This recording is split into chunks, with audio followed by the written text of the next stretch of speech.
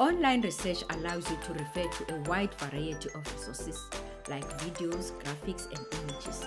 This video guide will help you to reference them correctly.